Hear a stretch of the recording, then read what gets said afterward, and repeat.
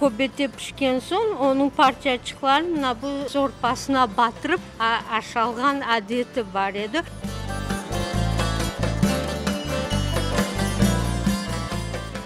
көбетелерін дейік более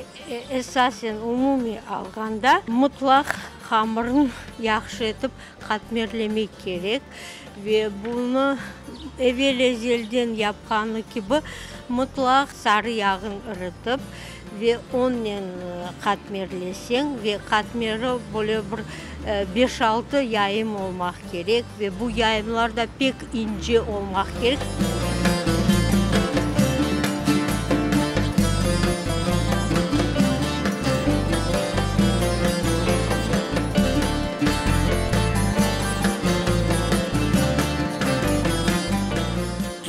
ішіне емұртла атыла еділер ве бөле бір көбетені дек да бек бір әжайып әдет еді барып даға мұтлақ оны үшін бөле птачықлар топлай еділер ве бұл птачықларны пышчакны яхшы этип йонып бембияз етіп о бұл кобеттен адик ашасына сонун анау таячыкларын боле төрт тараптан коюлайды ве үстіне қаплай еділер екінші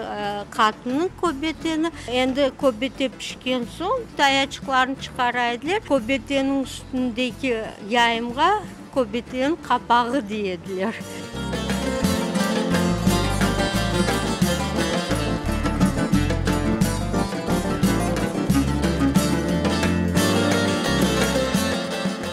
жігерін пішіреділер башта тұзлы суда соның қима машинасынан чекелер ве соған чықнен қауырып ондан көбете япайлар ве көбетеге да мұтлақ қошаф береділер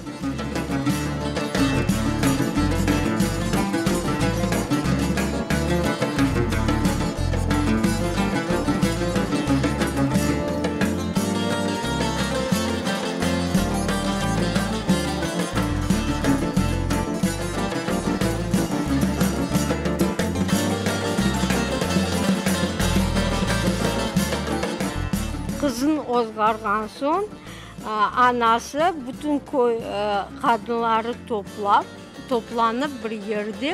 bu көбетені яйымларын әділер. бір мәліматларға көре бір ерімдәне яйым инже яйым олажак ол үст үстіне япылайды бұл пек балабан көбете олайды асыл да ве сабасына анасы қызына бұл көбетені еді құда тарафына ве бұл көбете пек мешур еді э, Чүнкі әркес бұл көбетені дадыны бақмаға истеге provided.